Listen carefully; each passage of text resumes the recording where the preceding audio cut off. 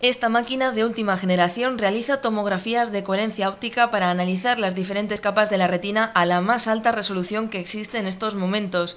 Permite distinguir estructuras de 5 micras. La mayoría de las enfermedades que conducen a la ceguera se producen en el área central de la retina. Esta, este aparato nos permite explorar esta área de una forma muy minuciosa y muchas enfermedades a veces las diagnosticamos en cuanto están empezando en estadios iniciales, estadio 1 o 2, y eh, que otras veces no lo podemos ver con otros aparatos.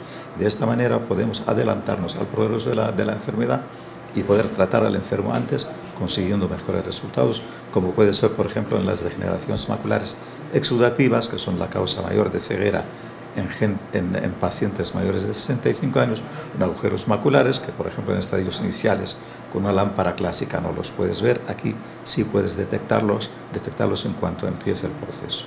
También permite ver si el tratamiento proporcionado en cada caso está dando sus frutos o no. La prueba no supera los 5 minutos.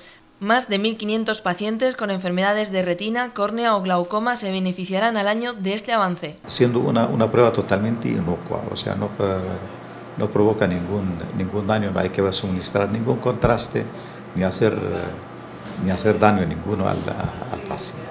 Y son todo ventajas, porque esta máquina no ha supuesto ningún coste para el hospital, gracias a las negociaciones de este jefe de servicio.